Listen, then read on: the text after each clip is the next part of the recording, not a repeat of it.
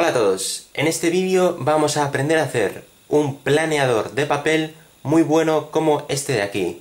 Lo que más llama la atención de este avión son sus grandes alas. Necesitamos un folio cuadrado. Yo voy a usar aquí un folio cuadrado de 20 centímetros de lado, ¿vale? Bueno, lo primero que hacemos es dividir el folio a la mitad. Dividimos así y desdoblamos.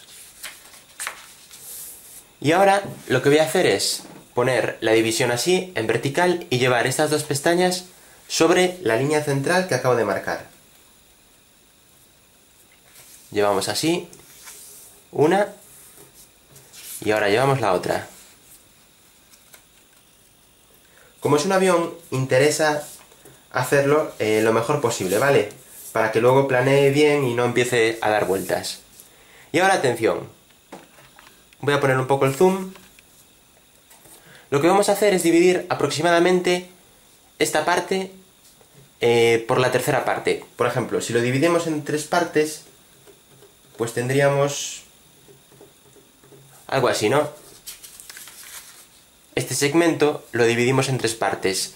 Vale, aproximado, no hace falta usar una regla lo que hacemos es doblar por aquí, ¿vale? Por la tercera parte. Doblamos esta puntita así hacia abajo.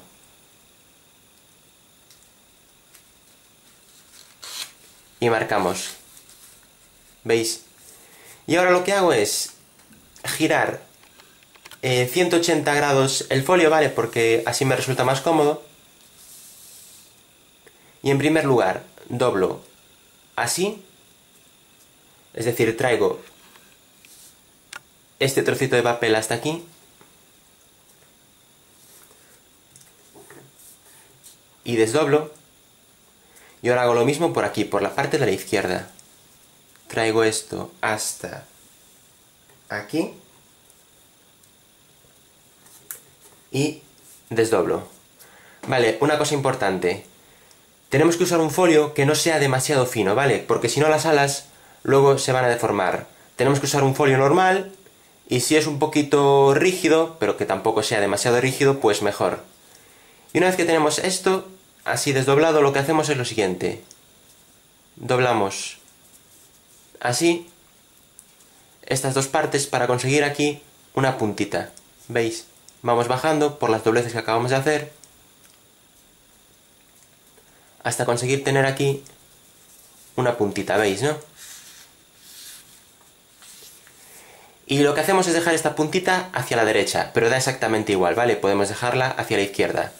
Vamos a dejarla así, hacia la derecha, ¿veis? Que la aplasto y la dejo aquí tumbada.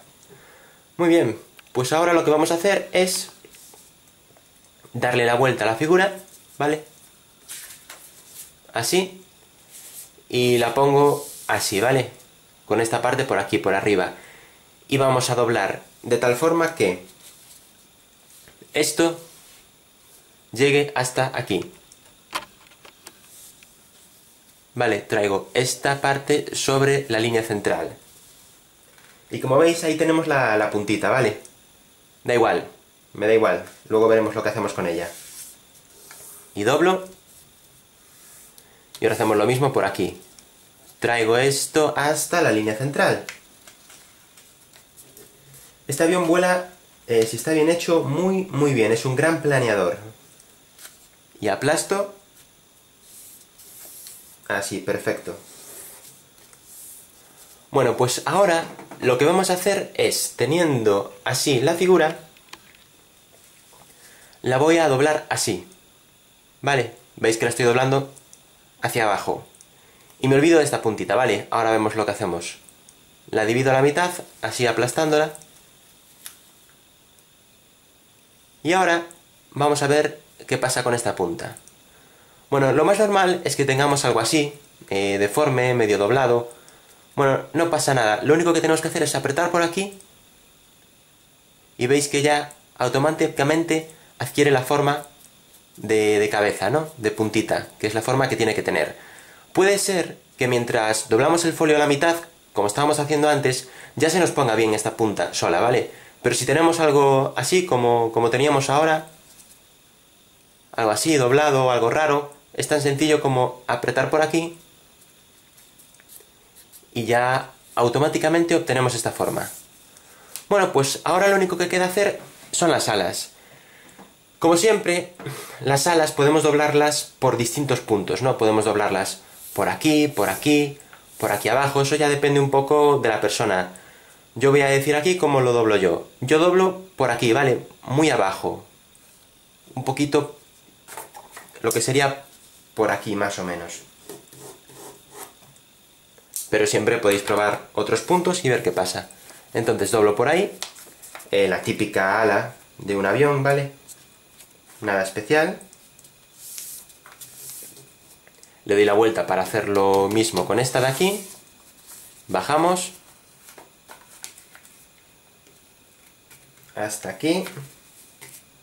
¿Veis? Yo como lo he hecho así un poco con prisas, tengo las alas de distinto tamaño, ¿vale? Y esto siempre afecta luego al vuelo, porque entonces se va a ir para un lado o va a planear un poquito peor. Y luego hacemos eh, la última parte, ¿no? Que es lo típico de doblar así un poquito para arriba. También doblo un poquito nada más. Hago lo mismo con la otra. Le doy la vuelta y doblamos así un poquito. Y ya está, ya tenemos la figura terminada. Vale. Cogemos el avión por aquí típico sitio para engancharlo. Y ahora le damos pues un poquito de forma así a las alas. Y como veis, este avión tiene una gran superficie en las alas, ¿vale? Por eso planea tan bien. Recomiendo lanzarlo en un sitio sin viento o con muy poco viento, por ejemplo un centro comercial, un espacio cerrado. ¿Por qué? Porque es un avión que planea muy bien pero es muy delicado, ¿vale? Es bastante frágil. Recomiendo, como dije antes, usar un folio que no sea demasiado fino para que las alas se mantengan bien firmes y no se doblen así. Y por último, recomiendo lanzarlo suavemente y un poquito hacia abajo, ¿vale? Así. Porque si lo lanzamos hacia arriba, lo más probable es que haga así y luego caiga un poquito en picado.